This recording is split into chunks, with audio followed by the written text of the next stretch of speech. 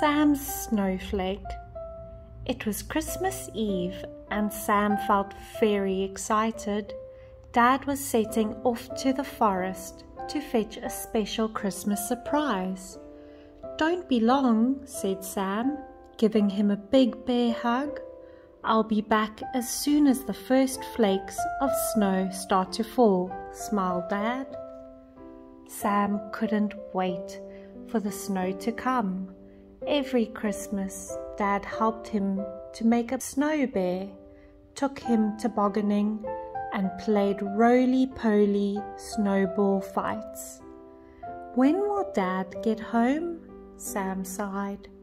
Don't worry, laughed Mom. Dad will be here soon, and so will the snow.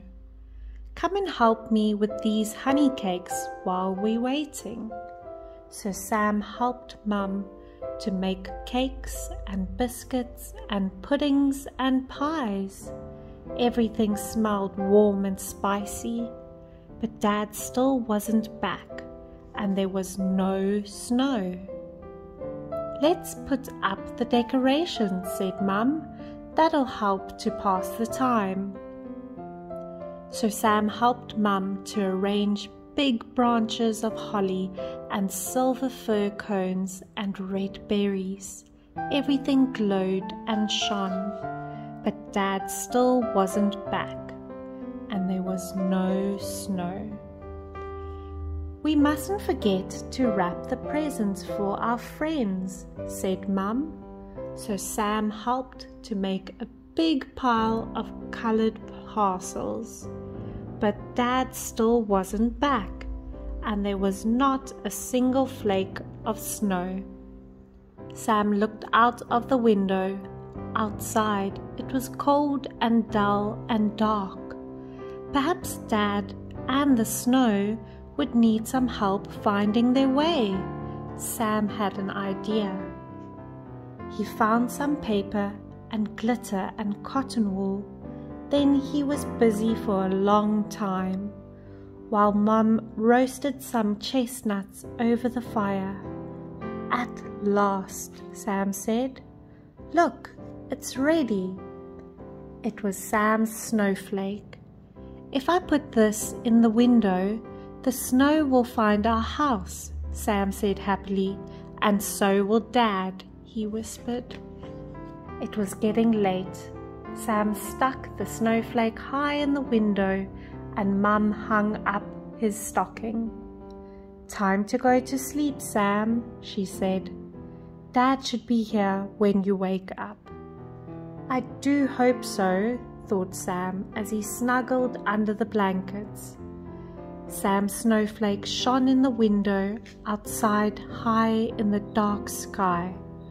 A single star burned brightly. At last, Sam yawned and blinked and fell asleep. Out in the forest, Dad was still far from home.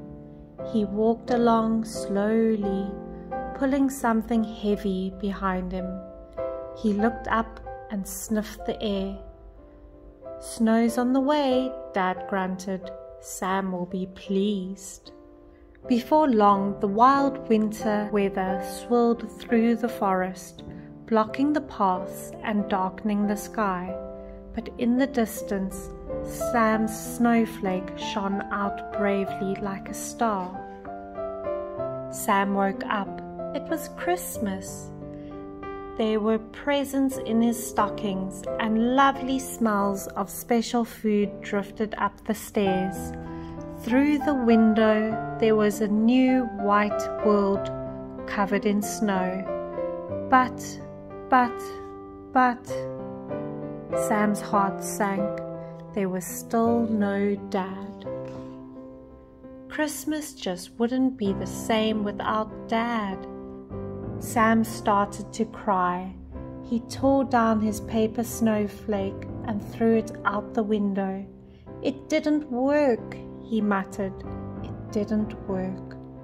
Just then, a quick, cold breath of wind caught the snowflake.